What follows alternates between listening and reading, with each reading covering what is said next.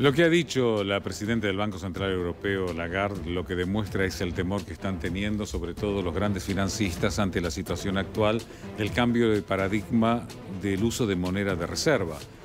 Desde que comenzó todo en Bretton Woods un año antes del final de la Segunda Guerra Mundial, donde nació el Fondo Monetario Internacional, hasta la decisión de Nixon de dejar el patrón oro porque ya habían imprimido demasiado, hasta la decisión de los países árabes de no atenderle ni el teléfono a Joe Biden para decir vamos a pasarnos a otras monedas, como es el caso del rublo o del yuan, es lo que ha llevado a que tengamos la situación actual de cambio constante. Y algunos piensan que con monedas digitales eso se va a poder solucionar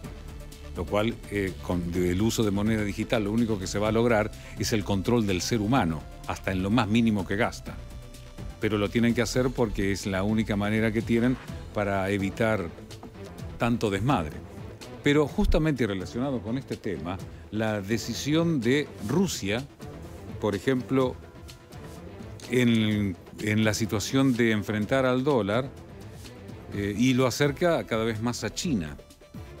Bangladesh, en otra época Pakistán Oriental,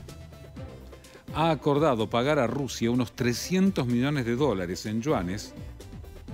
para liquidar el pago de la construcción de una planta de energía nuclear cerca de la capital, Dhaka, la capital de Bangladesh.